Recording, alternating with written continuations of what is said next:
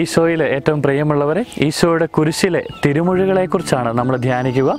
വിശുദ്ധ ലൂക്കാട് സുവിശേഷം ഇരുപത്തിമൂന്നാം അധ്യായം മുപ്പത്തിനാലാം തിരുവചനത്തിൽ നമ്മൾ കാണുന്നുണ്ട് പിതാവെ ഇവർ ചെയ്യുന്നത് എന്തെന്ന് ഇവർ അറിയുന്നില്ല. ഇവരോട് ക്ഷമിക്കണമേ എന്ന് പറഞ്ഞ് കുരിശിൽ കിടന്ന് പ്രാർത്ഥിക്കുന്ന ക്രിസ്തുവിനെയാണ് നമ്മൾ കാണുക.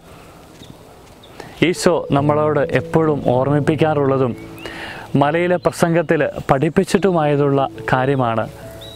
വിശുദ്ധ ബലി അർപ്പിക്കുന്നതിന് മുൻപ് നിനക്ക് ആരോടെങ്കിലും വിരോധം ഉണ്ടെങ്കിൽ എന്നല്ല മറിച്ച് നിന്നോട് ആർക്കെങ്കിലും വിരോധമുണ്ടെങ്കിൽ കൂടി അവരോട് ക്ഷമ ചോദിച്ചിട്ട് വേണം ബലിയർപ്പിക്കാനെന്ന് പ്രിയമുള്ളവരെ കർത്താവ് തന്റെ ബലി പൂർത്തിയാകുമ്പോൾ കുരിശിൽ കിടന്ന് വലിയൊരു മാതൃക നൽകുകയാണ്.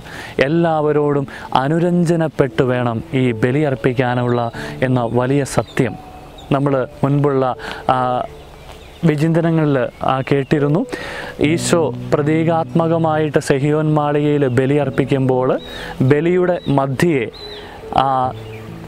തന്റെ ഉടുപ്പ് മാറ്റി അരയിൽ തൂവാല ചുറ്റി ശിഷ്യന്മാരുടെ പാദങ്ങൾ കഴുകുന്ന രംഗമുണ്ട്.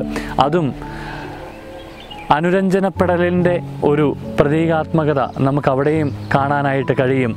യൂദാസിന് തന്നോട് വിരോധമുണ്ടെന്നും തന്നെ ഒറ്റിക്കൊടുക്കാനായിട്ട് അവന്റെ മനസ്സിൽ നിശ്ചയിച്ചുറപ്പിച്ചിട്ടുണ്ട് എന്നുള്ള തിരിച്ചറിവിൽ യൂദാസിന്റെയും പാദങ്ങൾ കഴുകി ഈശോ അവനോടും അനുരഞ്ജനപ്പെടുകയാണ്. അതുതന്നെയാണ് കുരിശിലെ ഈശോയുടെ കുരിശു മരണത്തിലും കാണുക. അവിടെയും എല്ലാവരോടും അനുരഞ്ജനപ്പെട്ട് അവൻ ബലി പൂർത്തിയാകുകയാണ്. പ്രിയമുള്ളവരെ ഈശോയുടെ ഈ കുരിശിലെ മൊഴി പിതാവേ ഇവർ ചെയ്യുന്നത് എന്തെന്ന് ഇവർ അറിയുന്നില്ല എന്നുള്ള ആ വലിയ പ്രാർത്ഥന എല്ലാവരോടും അനുരഞ്ജനപ്പെട്ട് സ്നേഹത്തിൽ വിശുദ്ധ ബലി അർപ്പിക്കാനായിട്ട് നമ്മളെയും പ്രചോദിപ്പിക്കട്ടെ.